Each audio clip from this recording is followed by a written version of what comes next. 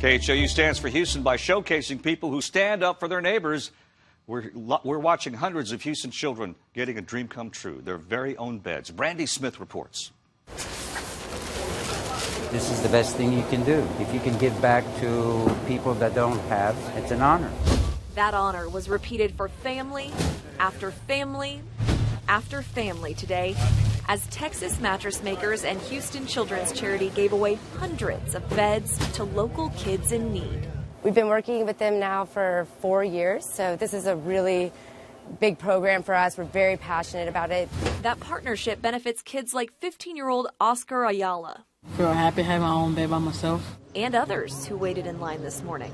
That's a low income over, over out this side of town, and this is very helpful for us. It's a great thing. The mattresses that Texas Mattress Makers gives to these children are the highest quality mattresses we've ever had the honor. He talks about honor. It's our honor to give his mattresses away because the quality is so incredible. According to the nonprofit that spearheaded this giveaway, about 20,000 children throughout Houston don't have their own bed to sleep on.